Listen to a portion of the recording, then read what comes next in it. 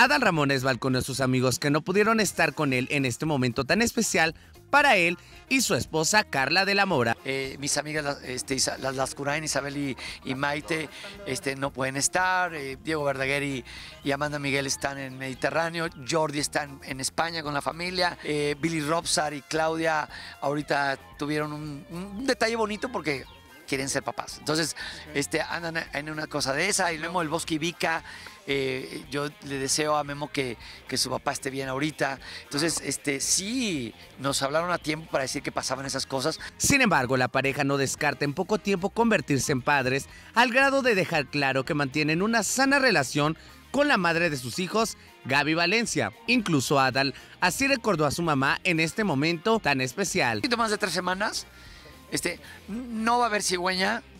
Le dijimos que se mantuviera lejos. Este, Por ahora. por el momento. Pero en unos tres meses le dije a la cigüeña, come back, buddy.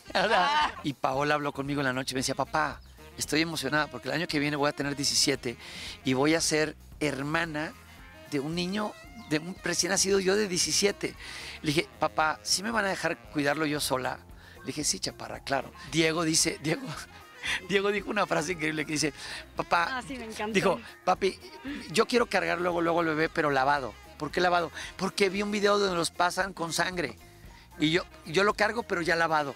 La familia, a pesar de que, digo, llevamos una gran relación, Gaby y su servidor, porque están los grandes tesoros que son mis hijos, de, la- de este lado, Carla siempre dijo, quiero empezar con una familia ya de dos hijos tuyos. O sea, cuando llegue, Cuatro. cuando llegue el mío, va a ser un tercer hijo, aunque sé que son los hijos de Gaby, pero aquí se van a querer como hijos. Entonces, estoy muy feliz. La situación, como tú bien lo dices, Adal, el tener presente a tu mami, obviamente como eh, pues la vas a sentir, vaya, el recordarla, Sí. el que obviamente le gusta, te gustaría que ella estuviera. Me hubiera gustado que estuviera aquí. Eh, Adoró mucho a Carla. Mamá conoció a Carla y le dijo, si vas a quedarte con alguien, me encanta Carla para que te quedes con ella.